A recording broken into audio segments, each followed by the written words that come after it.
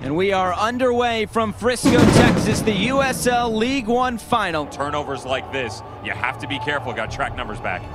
Here's Mohamed cutting in field. Laying it off for Bermudez. Going for goal. A great save from Zobek.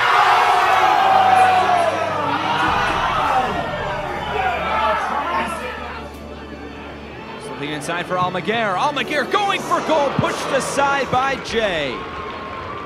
Expecting distribution to come back in. I do not mind the decision.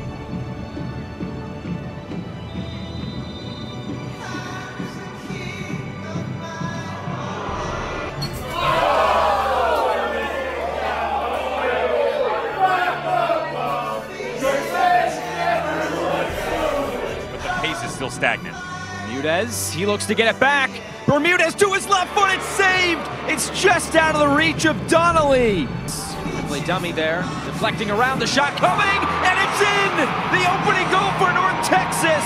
It's Arturo Rodriguez. Down a goal on the road.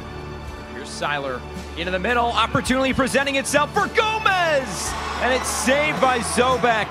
Here's Mohamed against Gomez, slipping it inside for Gomez, going for goal just wide. way that North Texas SC is pumping this ball right now 38% on the right, 42 on the left. Do the quick math, it's right around 19% left over. 19, 20% not Coming a lot. through, it's punched away, and Gomez couldn't quite keep it in. It was Mohamed on the doorstep again. Right as we're finishing things off, and they basically employed the same thing. Switch of play for Omar Mohamed. He's dancing on the ball, trying to play through. Falls for Donnelly, going for goal! Another save by Zobek! Demis, and there's the final whistle! North Texas Soccer Club, number one! Notice John Harkes. John Harkes, when we talked to him, he was all about growth for this game and this organization, and you saw that tonight.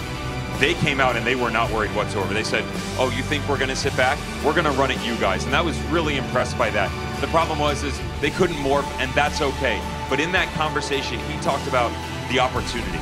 And this isn't just right now. It's not just this 90 minutes. It's growing this organization. They got that from their first win this year. You saw them grow throughout the year. And this is a band of brothers that are going to be heartbroken by this loss, but they will not be down and out. Dallas Jaye, everybody they have on the back line, Pulitz, Seiler, they've been through this before in terms of experience, and we thought that might lead them to victory. They fell short, but they're going to get right back at it. They're a very talented group of individuals. Can't wait to see what they do next year. Absolutely, and, and John Harkes said it. He said, We already won. We got to a final in our first season.